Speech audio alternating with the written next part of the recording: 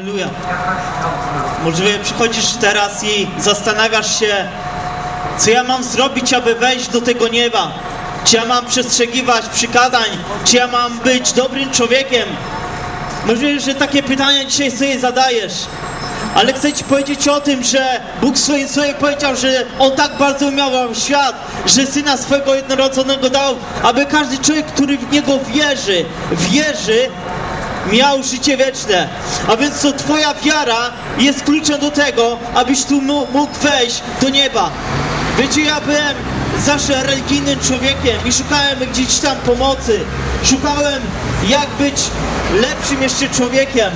Ale w Słowie Bożym przeczytałem, że każdy człowiek zgrzeszył i brak mu chwały Bożej. Nie ma człowieka tutaj na ziemi, który jest dobry, który może przypodobać się Bogu przez swoje własne dobre uczynki. Ja byłem człowiekiem dobrym, ale ja byłem człowiekiem zagubionym. Dlatego 6 lat temu zawołałem do Jezusa i On przyszedł i zmienił moje życie. I to jest Ewangelia. Ewangelia mo- to jest mocą Bożą. Ewangelia to jest to, co Jezus Chrystus zrobił na krzyżu Golgoty. O tym, że tam na krzyżu dokonała się wymiana, że On wziął Twoje grzechy, On wziął Twoje choroby, On wziął Twoje wszystkie e, zniewolenia, wszystko wziął na krzyż Golgoty, abyś Ty mógł mieć udział w życiu wiecznym. Jezus powiedział, że ja jestem drogą, prawdą i życiem i nikt nie przychodzi do Ojca, jak tylko przeze mnie. A więc to w Chrystusie jedynie jest nadzieja. Tylko w Chrystusie możesz być zbawionym człowiekiem. Wystarczy, że dzisiaj do Niego przyjdziesz i powiesz, Jezu, chcę Cię poznać. Ja 6 lat temu zapałem, powiedziałem, Jezu, chcę się z Tobą osobiście spotkać. I tam w pokoju On przyszedł i zmienił moje życie. I może zastanawiasz się dzisiaj i zadajesz sobie pytania, ale ja nie jestem godzien, aby przyjść do Ciebie. Wiecie, w jednym sensie to jest prawda, jako człowiek grzeszny, ale jeżeli Ty uwierzysz w to, co dokonało się na krzyżu Golgoty, uwierzysz w to, w pusty grób, uwierzysz w to, że On umarł za Twoje grzechy, że zmartwychwstał, to w tym momencie jesteś godzien, abyś Ty przyszedł do Jezusa.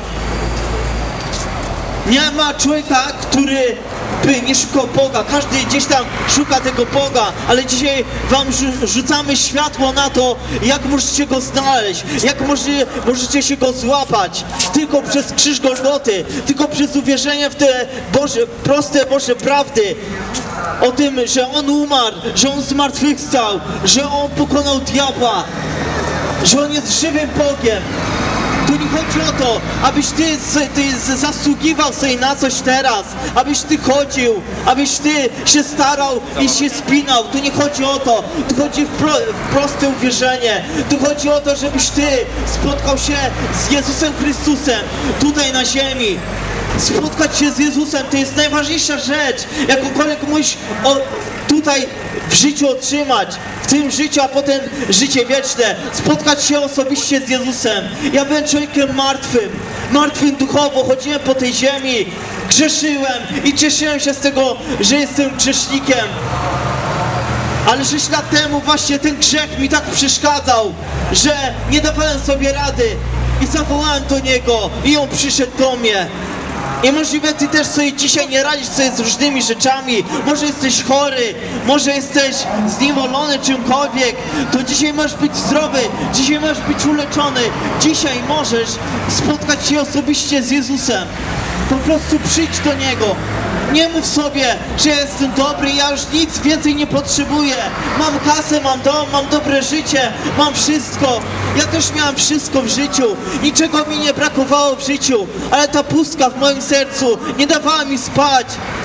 Nie mogę przez to funkcjonować w moim życiu prawidłowo, ale do, kiedy spotkałem Jezusa, On wyrwał mnie z ciemności i przyniósł mnie do królestwa swojej e, światłości. Jeżeli Ty dzisiaj Chcesz tego samego, po prostu do Niego zawołaj. Po prostu oddaj Mu dzisiaj swoje życie. Oddaj Mu panowanie, oddaj Mu stery swojego życia. A zobaczysz, jak On poprowadzi wspaniale Twoje życie. Po prostu On może zdjąć każdy kajdan z twojego życia, ale On oczekuje twojej decyzji. On powiedział, oto kładę przed tobą błogosławieństwo i przekleństwo. Wybierz życie, abyś żył. Wybierz dzisiaj Jezusa. Wybierz dzisiaj Jego jako Pana swojego życia i wyznaj Go Zbawicielem. Słowo Boże nam mówi, że jeśli wyznasz ustami, że On jest Panem, wierzysz w sercu swoim, że On skrzesił Jezusa z martwych, zbawiony będziesz. Ja uwierzyłem w to. Uwierzyłem, że On wskrzesił Jezusa z martwych i wyznałem Go Panem swojego życia. I On przyszedł. Jeżeli chcesz tego samego, to zawołaj Go. Zawołaj Go dzisiaj. Powiedz Jezu, nie znam Ciebie. Powiedz Jezu, ja chcę, abyś Ty przyszedł do mojego życia. Ja chcę, abyś Ty stał się Panem na tronie mojego życia. W imieniu Jezusa.